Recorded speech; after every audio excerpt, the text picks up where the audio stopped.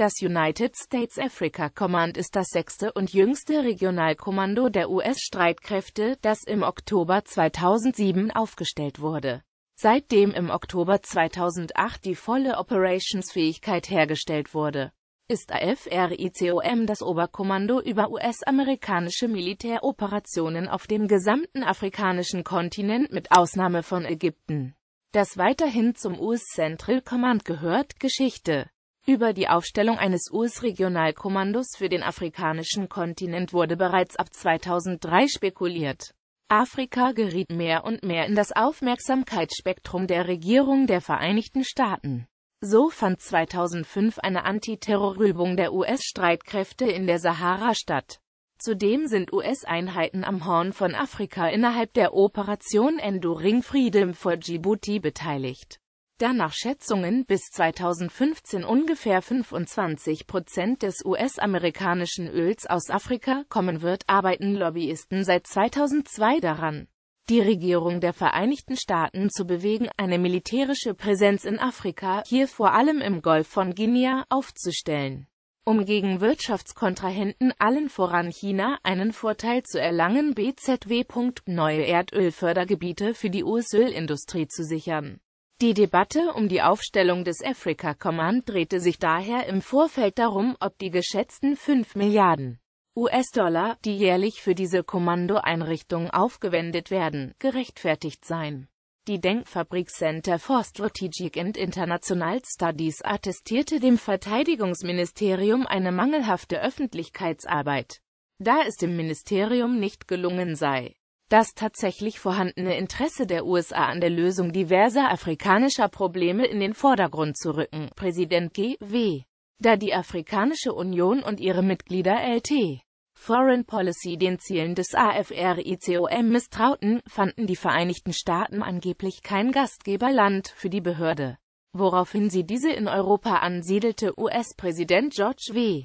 Bush äußerte am 21. Februar 2008 im Vorfeld eines Staatsbesuches, dass die Vereinigten Staaten keine neuen US-Militärbasen in Afrika planten. Die liberianische Präsidentin Ellen Johnson Sirleaf hatte sich dafür eingesetzt, das Hauptquartier des US-Africa Military Command in Liberia einzurichten Ab dem 19. März 2011 führte das Regionalkommando den Oberbefehl über die US-Angriffe auf Libyen im Rahmen des mehrphasigen Militäreinsatzes in Libyen, an welcher sich die USA und Großbritannien mittels eines gezielten Einsatzes von Tomahawk-Marschflugkörper beteiligten.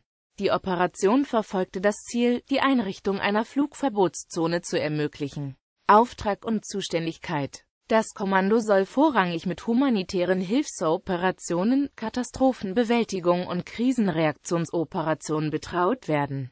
Das AFRICOM soll die Aktivitäten des US-Verteidigungsministeriums und anderer US-Ministerien und Behörden im Raum Afrika koordinieren und bündeln, um die politische Stabilität und das Wirtschaftswachstum der 56 Länder im Kommandobereich zu stabilisieren und intensivieren.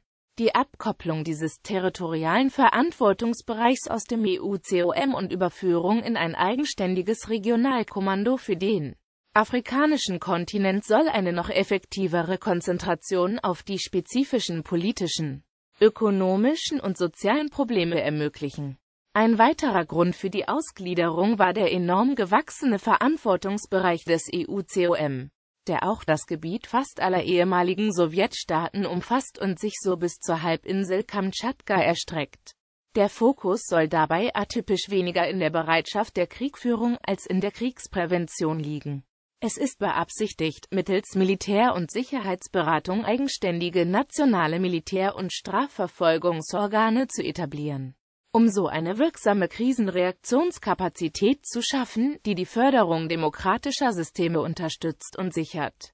Dabei sollen Entwicklungsprogramme des Außenministeriums, deren Unterstützung und Umsetzung zurzeit noch von drei verschiedenen Regionalkommandos, dem EUCOM, dem US Central Command und dem US Pacific Command getragen wird, im Afrika Command gebündelt werden, um somit Überschneidungen und Parallelarbeit zu vermeiden.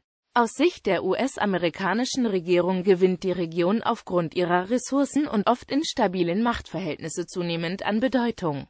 Die Einrichtung eines eigenen Regionalkommandos trägt dieser Entwicklung Rechnung.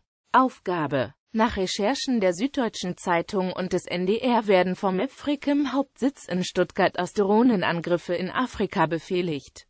Organisation Hauptquartier Eine Übergangskommandogruppe für die Aufstellung stand unter dem Kommando von Rear Admiral Robert T. Möller. Derzeit ist das Hauptquartier in den Kelly Barracks in Stuttgart stationiert. Das spätere Hauptquartier des Kommandos könnte nach Angaben des US-Verteidigungsministeriums in Afrika stationiert werden. Als Kandidat bewarb sich Liberia 2008, nachdem andere afrikanische Länder eine Stationierung ausgeschlossen hatten. Aus Kostengründen wurde eine Verlegung in die USA geprüft. Anfang 2013 entschied Präsident Obama den Verbleib in Stuttgart. Ausschlaggebend waren operative Vorteile durch die gleiche Zeitzone, stabile politische Verhältnisse sowie die hohe Lebensqualität für das Personal. Es gibt zahlreiche Fluglinien zwischen Europa und Afrika. Unterstellte Kommandos und Einheiten US. Army Africa Vicenza, US. Naval Forces Africa, Neapel, US. Air Forces Africa, Rammstein Air Base, US. Marine Corps Forces Africa, Stuttgart. Combined Joint Task Force Horn of Africa, Camp Lemonnier, Djibouti. Special Operations Command Africa, Stuttgart. Zum 1. Oktober 2008 wurde die 17. US-Luftflotte reaktiviert, um als Luftkomponente des AFRICOM zu fungieren. Ab 31. März 2009 sollte das US Special Operations Command Africa einsatzfähig sein, das dann als Verbundkommando sämtliche Sondereinsatzkräfte des AFRICOM führen wird. Führung Am 1. Oktober 2007 übernahm General William E.